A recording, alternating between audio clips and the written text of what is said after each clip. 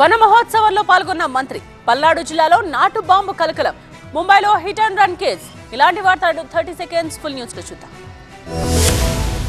ముంబైలోని వర్లీ ప్రాంతంలో hit and run case వెలుగులోకి వచ్చింది. వర్లీ హిట్ అండ్ రన్ కేసులో ప్రధాన నిందితుడు మరో వ్యక్తి రాజరిషి రాజేంద్ర విధావత్లను పోలీసులు అరెస్ట్ చేశారు. ఇద్దరిని కోర్టులో హాజరుపరచనున్నారు. పోలీసులకు సహకరించడం లేదని విచారణ తప్పుదోవ పట్టిస్తున్నారనే ఆరోపణలు వినిపిస్తున్నాయి. కొడుకు పరారీలో తండ్రి పాత్ర ఉన్నట్టు అనుమానిస్తున్నారు పోలీసులు. సాసొండాకు వెళ్ళి చేపలను తీసుకుని తిరిగి వస్తుండగా భార్యాభర్తలను బీఎండబ్ల్యూ కార్ ఢీకొట్టింది. ఈ ఘటనలో మహిళ మరణించింది. భర్త తీవ్రంగా గాయపడ్డారు. చికిత్స కోసం సమీపంలోని ఆసుపత్రిలో చేరారు. యాక్సిడెంట్ పరిధిలోని ఆట్రియా మాల్ ఎదురుగా వెళ్తుండగా ఈ ఘటన జరిగింది. ఈ ఘటన మొత్తం సీసీటీవీలో రికార్డు Bambi.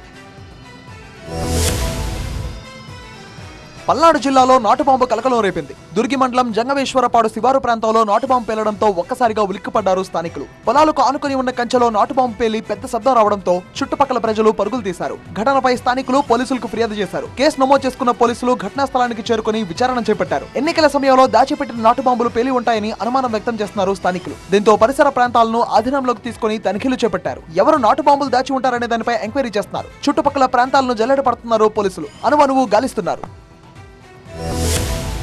తెలంగాణ ముఖ్యమంత్రి రేవంత్ రెడ్డికి మాజీ మంత్రి బీఆర్ఎస్ ఎమ్మెల్యే హరీష్ రావు బహిరంగ లేఖ రాశారు. కాంగ్రెస్ ప్రభుత్వం విద్యా వ్యవస్థను పట్టించుకోవడం లేదని విమర్శించారు ఆయన. గతంలో విద్యా వ్యవస్థ పటిష్టం కోసం కేసీఆర్ అనేక చర్యలు చేపట్టారని వివరించారు. ప్రాథమిక విద్య నుంచి ఉన్నత విద్య వరకు అన్ని విధాలా అభివృద్ధి చేసేందుకు పాటుపడ్డారని తెలిపారు. కానీ కాంగ్రెస్ సర్కార్ విద్యా వ్యవస్థను నిర్లక్ష్యం చేస్తుందన్నారు. రాష్ట్రంలోని పాఠశాలల్లో అనేక సమస్యలు ఉన్నాయని వసతులు అంతంత మాత్రమే అని తగినంత మంది టీచర్లు లేరని పుస్తకాల కొరత తాగునీటి కొరత ఉన్నాయని హరీష్ రావు వెల్లడించారు. జీతాల చెల్లింపు ఆలస్యమవుతుందని ఆరోపించారు. మీరు అధికారంలోకి వచ్చి ఏడు నెలలైనా కొత్తగా చేసిందేమీ లేదన్నారు.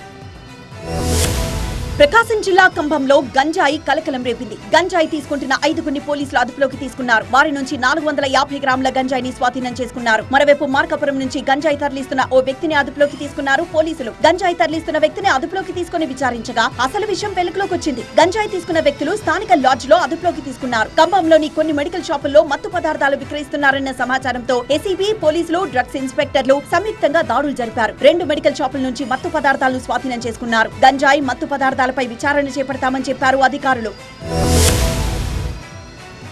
ఆదిలాబాద్ జిల్లా కేంద్రంలో మంత్రి సీతక్క ఆధ్వర్యంలో వనమహోత్సవ కార్యక్రమం గ్రాండ్గా నిర్వహించారు.